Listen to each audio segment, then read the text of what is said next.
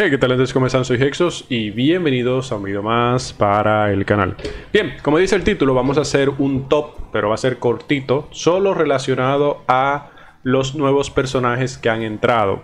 Eh, voy a tomar de referencia el top anterior que hicimos, el más reciente que fue en marzo, marzo, y solo voy a tomar en cuenta los personajes que se han actualizado desde ese top en adelante. Personajes que han cambiado su posición. En base a ese top pues yo lo voy a posicionar. Es decir, eh, los que están en SS del top, pues o se van a añadir nuevos o van a bajar, van a bajar algunos. Que ya te spoileo que uno va a bajar de SS. ¿Cómo es posible eso? Si, si, bueno, no, es posible porque obviamente si sale un personaje que hace lo mismo que él, pero mejor, entonces ya no vale la pena. Pues tú simplemente bajas a ese men de SS a S, porque va a seguir siendo bueno pero, pero en nivel de prioridad, obviamente otro toma su lugar. Así que dicho esto, vamos a hacer el top. Recuerda, esto es algo que se le adjunta al otro.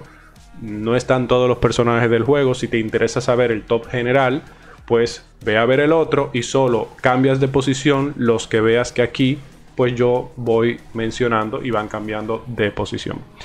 Eh, en primer lugar tenemos a América Chávez, que en el top anterior era B. Y ahora de ser B pasó a ser obviamente A. Mejoró una clasificación extra. El otro uniforme, el más reciente, no, era que era, no es que era malo, pero este es un poquito mejor y le hace mejor soporte para conquista. En PvE pega bastante bien. O sea que el A viene siendo ni bueno ni malo. O sea, no, de hecho el B es ni bueno ni malo. El A es un poco por encima del promedio, con lo cual no está mal, está bien.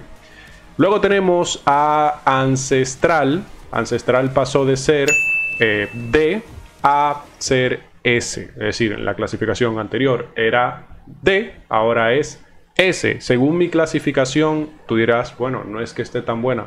Lo que pasa es que tiene un daño mm, bastante regular, incluso parecido al de América Chávez.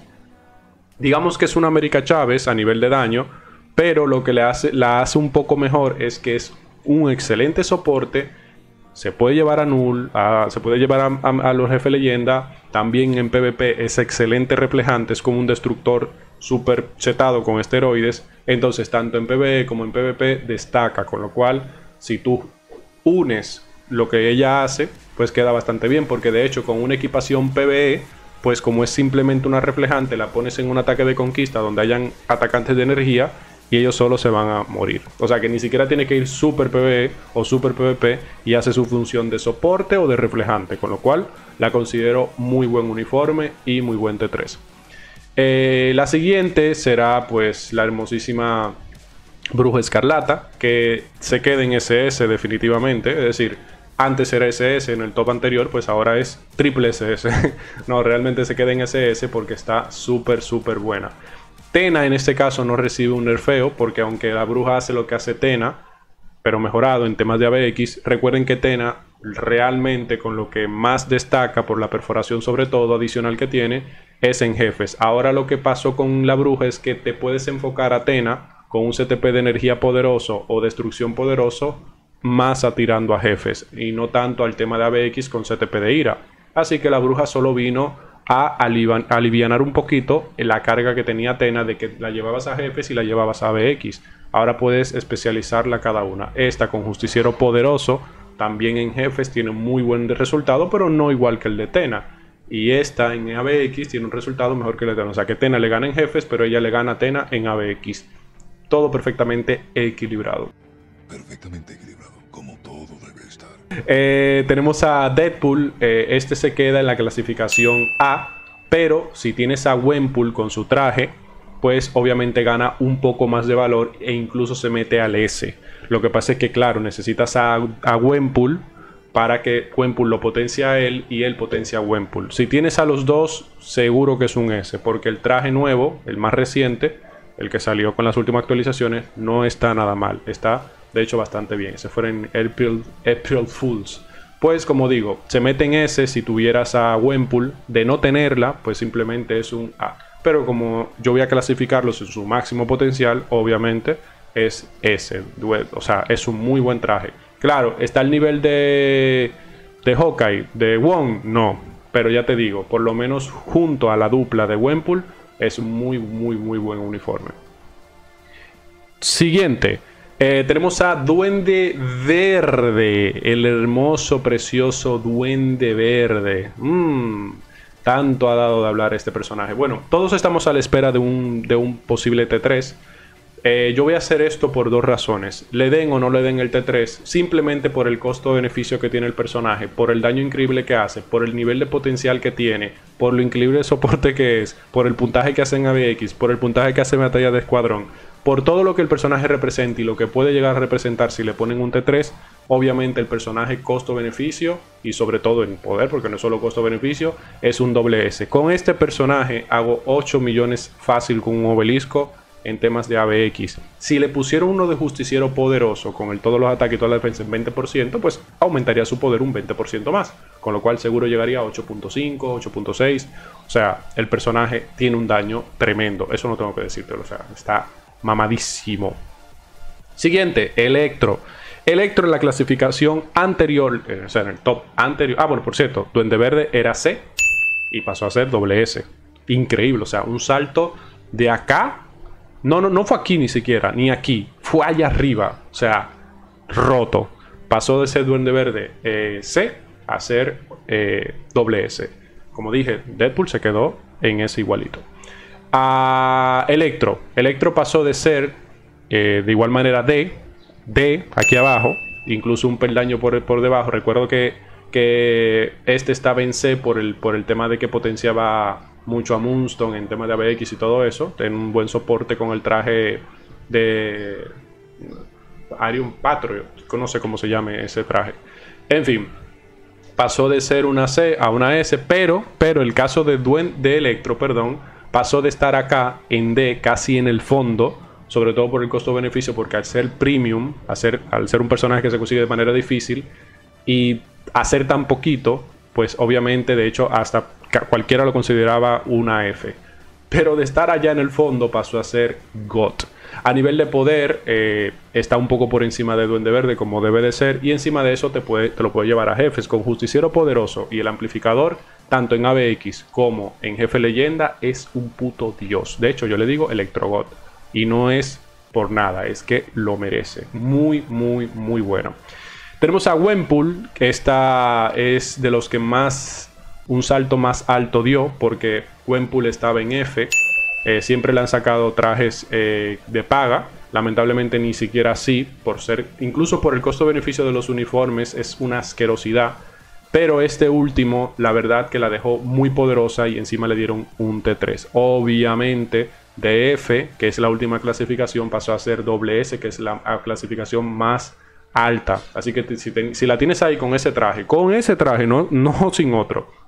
No con otro, perdón, sin otro. No con otro si la tienes con este traje, sube la T3 y verás la diferencia. Destrucción poderoso te lo recomiendo al 100%. Si le pones un obelisco, vas a sentir que es un personaje más del montón. No sé por qué el daño se dispara si le pones uno de energía poderoso o destrucción poderoso. Yo prefiero el de destrucción para ganar más daño a jefes y el daño en cadena lo aporta el mismo uniforme. Ya lo he mencionado muchas veces. Es increíble, pero necesita destrucción poderoso sí o sí. Eh, luego tenemos en, la, en el top al bueno de Hawkeye eh, eh, Hawkeye demostró ser un dios todo omnipotente y omnipresente también. Pasó de ser una D a ser una doble S. El meme encaja perfecto. En presencia de un dios. Hawkeye, obviamente, no tengo que decirlo, es de los mejores. De hecho, es el que más recomiendo de todo este top eh, de todos los tops que voy a hacer y que, voy, y que hago, es el que más recomiendo hasta que no venga alguien igual o mejor que él. Porque eh, costo-beneficio excelente. Además de que da la casualidad de que en tanto Jefe Leyenda Null como Jefe Leyenda Mephisto, pues eh, tener a Hawkeye te facilita muchísimo la vida. Por ejemplo, en Null, que es el que más presente tengo, se puede usar Hawkeye del piso 1 sin problemas al piso 24, si no mal recuerdo. ¿Por qué? Porque del 1 al 9 no pide nada, del 10 al 14 pide que sean varones, del, del 15 al 19 pide que sean humanos y del 20 al 24 pide que sean héroes varones. O sea que si tú calculas, él es todo eso. Con lo cual, él solo te puede carrear de la fase 1 de null a la fase 24. En Mephisto es más o menos lo mismo, pero no es igual. Pero también te carrea bastante bien, por lo menos hasta la 14 o hasta la 19 creo que te carrea súper bien. No, de hecho, hay un parón en el creo que te carrea de la 1 en a la 14 y luego de la 15 a la 19 no lo puedes usar, si no mal recuerdo, y luego ya lo puedes retomar del 20 al 24. Algo por ahí es. Igual, eh, pisos bastante decentes te ayudan a subir más rápido el, el, nivel de conquista, a conseguir esos ETPs free y obviamente a mejorar tu daño en jefes y todo eso. O sea, es excelente. No tengo que vendértelo, el personaje es maravilloso. Por no decir uno de mis favoritos del juego o mi favorito, por lo bueno que es. Es increíble nada de vender humo, porque hay personas que te dicen, no, porque este personaje es buenísimo. Yo mismo he dicho, no, Wenpool es buenísima, pero yo la probé en mi cuenta y es humo, porque no hace nada, porque no tengo la equipación correcta. Pero este no, este cabrón tú le pones un obelisco, un CTP de energía poderoso y no te vende humo. Es que te va a hacer lo que te estoy diciendo que va a hacer. Es Dios. Siguiente, eh, Kate Bishop. Kate Bishop, eh, igual que Wenpool, y de hecho son las dos velocistas héroes, pues pasaron de ser F, esta también estaba en F, porque simplemente era un tier 2 y ya no tenía nada. Era un buen tier 2, pero nada más. Pasó a ser ahora con el traje y con el 2.5 doble S. A nivel de jefes, por debajo de Hawkeye, pero a nivel de ABX, por encima, pero muy por encima de Hawkeye. Es tan buena que con un obelisco o con un CTP de ira sin bendiciones ni nada te hace 10 millones en una cuenta regular. No tiene que ser una mega cuenta. Eso sí, para llegar a los 11 millones, pues presígnate porque va a ser muy, muy complicado. O sea, ya, ya a los 10 es como que dice, bueno, ya me morí, ya me voy, nos vemos mañana, ya no trabajo más. Es increíble cómo se le paga el daño a esta cabezona, pero por lo menos 10 millones me parece un puntaje asombroso. Sobre todo para costo-beneficio, porque o es ella o es Macari. Y Macari es súper, hiper, mega cara delante de ella. Con lo cual, creo que la elección es bastante sencilla. Lo he mencionado también muchas veces. La siguiente es Maya. Maya cuando salió, pues siendo premium, costo-beneficio, etcétera, realmente no era buena. Yo la podía poner incluso en F. No la puse en F por respeto a los que ya lo habían sacado y decían que bueno, bueno, ah, por lo menos era potenciadora elemental para jefes normales. Y no sé qué, no sé para qué sirve eso, pero está bien. El punto está en que por lo menos por el liderazgo era una D. Pasó de ser una D a ser una A. no, mentira, hacer una S. SS por el liderazgo increíble que tiene, porque tiene muy buen daño y muy buen desempeño tanto en PvE como en PvP. Es como ancestral, literalmente es como ancestral. No es, no es, en este caso no es el tema de reflejo, sino el liderazgo, que es para PvP puro y es muy bueno, pero es, tiene más daño que ancestral en PvE y un resultado un tanto mejor a nivel individual sin el tema del reflejo de por medio que ancestral. O sea que obviamente está muy buena, muy, muy, muy buena Maya. Eh, ¿Te la recomiendo por encima de los, de, los que están aquí arriba? No, obviamente que no. Tú decidirás ya eh, si subirla o no, dependiendo de lo que te haga falta y lo que no. Pero es muy buen liderazgo y bueno, excelente personaje en general. Con el uniforme, eso sí, que es premium y jode la vida un poco eso ahí. Eh, Mordo. Baron Mordo es F, bueno, era F, en la clasificación anterior era F y pasó a ser una A no me parece sorprendente. Algunos lo ponen muy arriba, otros lo ponen muy abajo. Yo lo pongo en un punto intermedio, un poco por encima de la media. Lo tengo personalmente.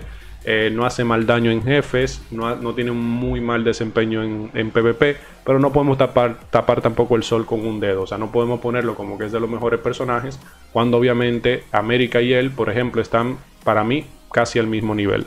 América creo que un palito super, super microscópico por debajo de, de, Mordo. Solo eso. Del resto se parecen bastante. Daño parecido y en PvP consistencia parecida. Solo que, Maya, eh, solo que América perdón, es más soporte que otra cosa.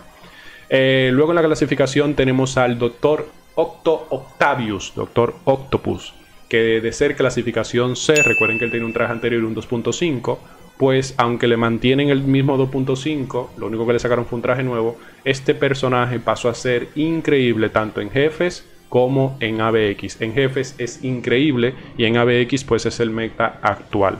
Obviamente no puedo ponerlo por debajo de SS. Es indispensable. Costo-beneficio es increíble. Lo podían seleccionar con el 2.5. O sea que era básicamente regalado. Lo único que tenías que gastar eran 700, 800 cristales por el traje y listo. O sea, no tienes que hacer nada más porque con el selector ahí estaba. Increíble. Y si no lo llegaste a seleccionar... Esta vez te mamaste. Error tuyo. Espero que haya sido alguien mucho mejor que él, que lo dudo, porque de ese selector es el mejor de todos. El único que tiene potencial a futuro, pues obviamente sería eh, Moon Knight, pero eso es a futuro. Yo hablo en hoy, el día de hoy presente. El siguiente en la lista es Strange, que en la clasificación anterior era una B, y de ser B pasó a ser doble S. Sin lugar a dudas, es que es increíble. Tiene un daño asombroso, buen desempeño en ABX, sin cancelar ni nada. Es una bestia. Yo quiero saber cuándo cancele. Eh, ABX excelente, jefes excelente, equipación mediana hace su trabajo. increíble personaje, no tengo nada más que decir. Es muy bueno. Y el último en esa clasificación y último personaje que mencionaré de esta actualización, pues sería el bueno de Wong que de ser F pasó a ser SS. O sea, de ser lo más bajo también a lo más alto. Eh, muchos velocistas en esta eh, actualización, si tú te fijas, hay 1, 2, 3, 4, 5, 6, 7, 8, 9, 9 velocistas. Creo que me falta incluso uno. A ver. 1, 2, 3, 4, 5, 6, 7, 8, 9. Bueno. Bueno, Sí, nueve. Nueve velocistas. No sé si me falta uno de la actualización. Pero en chequeo porque viene a ver y estoy loco y me falta uno. Bueno, a menos que... Bueno, me parece que no. Lo que pasa es que hay tantos velocistas que ya cuando veo menos de 10 me asombro. Quizás el que falte viene siendo Buitre, que también es parte de la actualización, solo que solo recibió el 2.5. Eh, han salido demasiados velocistas desde eh, diciembre, que empezó con Spider-Man. Eh, luego en enero, creo que sal, no me acuerdo si en enero salió alguno. No lo recuerdo muy bien. Yo sé que ya de febrero para adelante ha sido velocista y velocista, velocista y velocista. Ya está un poco me.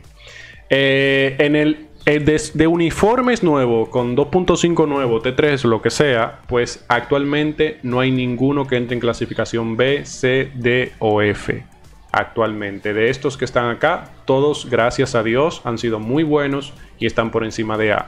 Pero mención honorífica para los siguientes personajes. El hombre de arena, Misterio, Buitre, Caecilius y Clea. Esos cuatro personajes recibieron 2.5. Ninguno recibió uniforme, pero sí recibieron 2.5. En caso de tener que clasificarlos, por ejemplo, el hombre de arena pasa de ser F, de estar en la clasificación más baja, a subir un peldaño a D.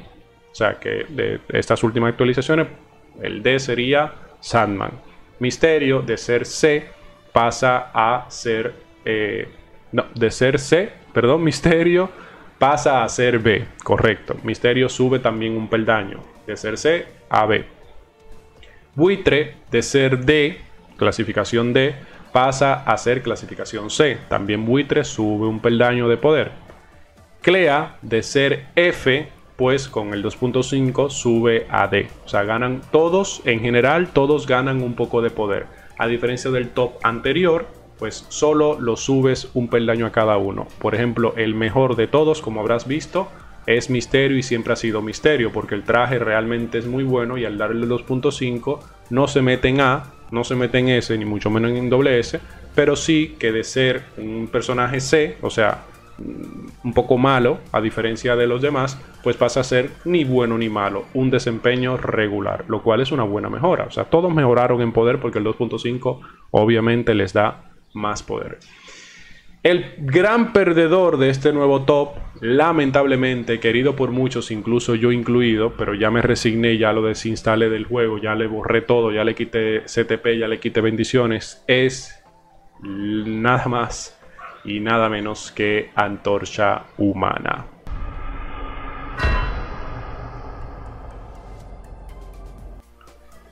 Bueno, Antorcha Humana lamentablemente pues baja de ser SS a S. Esto debido a que obviamente Strange está dos hasta tres veces mejor que el pobre Antorcha Humana. Lamentablemente, yo sé que hay muchos que lo quieren, hay muchos que dirán, no, sigue siendo muy bueno, pero no lo suficientemente bueno para ser considerado un dios del juego, un doble S. Antes lo tenía ahí incluso bajo críticas, porque obviamente es bueno, pero tampoco tan exagerado. Pero ahora ya con la llegada de Strange definitivamente está muerto y enterrado. ¿Por qué? Porque simple y sencillamente, aunque es más free to play porque cuesta menos armarlo, pues el resultado que te da Strange es el triple de bueno, no solo el doble, así como cuesta el doble que armarlo a él, sino que es el triple el resultado. Tanto porque te puede servir como meta en ABX perfectamente, hace mucho, mucho puntaje, es como una Kate Bishop, con pocas cosas te hace mucho daño. Y además de eso, en jefes es un personaje increíble al nivel pues, del mismo Wong, al nivel del mismo Hawkeye. O sea, a ese nivel Strange está. Está bastante poderoso actualmente. Eh, lo que pasa es que, claro, personalmente yo he visto videos, personalmente hablando, yo mismo lo tengo, pero no lo he probado al 100% porque no he tenido el tiempo ni la equipación ni nada. Yo prefiero irme con lo básico y listo. De momento, detonante varón, héroe, o incluso detonante mujer, héroe, sirve poco en el juego en términos generales. Tanto me, he dado cuenta tanto en jefes como en ABX, pues eso se ve muy poco y como que no es tan necesario el velocista que lo han inyectado por todos lados tiene más utilidad y ha ido cambiando el meta constantemente tanto en jefes como en ABX. Con lo cual, así se queda el top. F por el bueno de Antorcha Humana. Esperemos que en futuras actualizaciones pues mejore su desempeño. De momento, así se queda el top. Pondré arriba, aquí arriba, arriba a la derecha, una tarjetita donde te va a mandar al top de donde saqué las, los cambios y todo eso, que fue el de hace dos meses, para que puedas unirlo. Esta misma modalidad, este mismo formato, lo tendremos de nuevo en dos actualizaciones más. Así me evito hacer un top de 50 minutos de todos los personajes y solo me enfoco en los que han cambiado y se han movido del meta. Con lo cual solo tendrías que tener pendiente el top anterior, unírselo a este. Claro, obviamente tendré que hacer uno general en algún momento pero así no tengo que hacerlo cada tres meses, sino que puedo hacerlo cada seis, cuando de verdad el juego haya tenido muchos cambios, así uno todo en un video, o sea, estos cambios más los que vienen, más los que siguen y todos juntos en un solo video, pero cuando pase suficiente tiempo, que yo creo que en seis meses ya el juego hace un 360 con lo personal. Miren todos estos que han tenido cambios asombrosos de F a SS, de F a SS, de C a SS, o sea,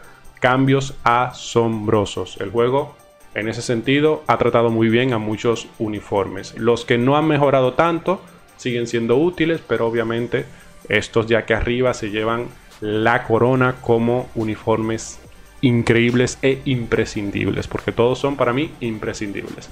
Así que nada, espero te haya gustado este top, un poquito más cortito, más resumido, explicado todo perfectamente. Si te gustó, deja un like, suscríbete al canal, activa la campanita y nos vemos muy pronto con más. Chau. Chao.